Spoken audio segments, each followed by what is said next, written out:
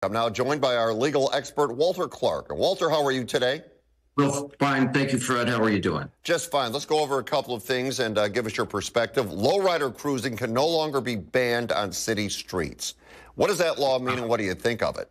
Where, where it comes from is a conflict in the California Vehicle Code versus the cities. The cities are able to create statutes regarding and ordinances regarding crossing guards and parking places and stoplights and so forth but they were given the opportunity also to preclude groups from getting together uh, to cruise and show off their cars and stuff. And then came along a group called the California Lowriders Alliance. I'd never heard of them before. And they said, this isn't fair. We need to be able to get together. It's sort of a social, cultural thing, show off our lowriders.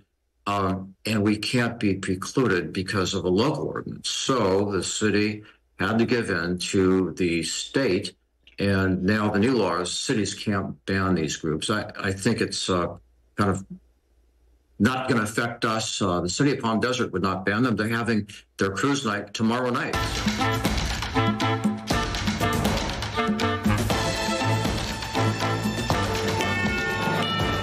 Hey, if you have a legal question and you would like to ask Walter, you know how to get in touch with us, send us the question and we'll put it to him in next week's segment. When we come back, the super weather forecast.